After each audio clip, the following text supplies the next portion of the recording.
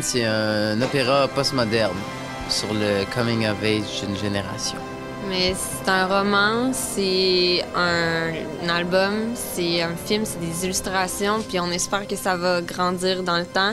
Il va y avoir, euh, il y a un spectacle aussi, euh, puis un jour peut-être qu'il va y avoir euh, des vêtements, puis on, on souhaite continuer ça là, sur une longue période. En fait, Darlene, c'est une œuvre qui est comme une, œuvre multidisciplinaire, puis une œuvre qui est transmédia, si on veut, dans le sens que c'est pas, euh, c'est pas seulement un album, c'est pas seulement un roman, c'est juste quelque chose qui, est comme une œuvre totale qui recouvre toutes les formes d'art et toutes les. Toutes les euh, Éventuellement. éventuellement. Ouais.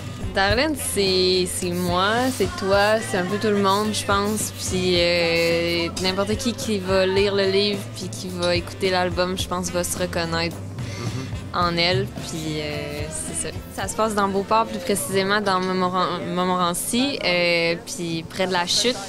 Euh, c'est là que j'ai grandi, c'est là que j'ai joué. euh, c'est un quartier qu'on qu'on dit souvent oublié. Euh, mais en même temps, il est magnifique. Puis j'invite n'importe qui à venir euh, passer dans le coin. là. Il n'y a, a plus grand-chose. Il y a un bingo, il y a un kinzo, il y a un centre de coiffure, ma mère. Il y a un garage, mon oncle. Puis euh, après ça, euh, c'est ça. Il y a des belles petites rues bien, bien, bien serrées. Le spectacle, ça va être le 15 mars au Dagobert. Puis euh, c'est comme un peu une revanche pour moi puis pour nous parce qu'on a toujours été des. euh, des Surtout pour toi. Surtout pour moi parce que quand j'allais au Dagobert, je me faisais toujours écœurer par Je tout le monde. défendais. Ouais, c'est ça. Puis ça, ça finissait toujours mal, presque en, presque en bataille. Puis je me faisais écœurer par les, par les, les, les, les, les- les- les gros. euh, Les gros gars.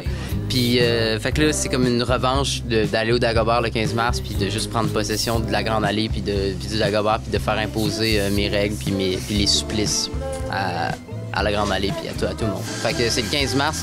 Puis aussi, j'invite aussi tout le monde qui ont, qui ont déjà vécu ça au Dagobert de se joindre à moi pour, pour le, le 15 mars, pour comme qu'on vive ça ensemble, que ça soit un peu leur revanche à eux aussi. C'est un peu ça.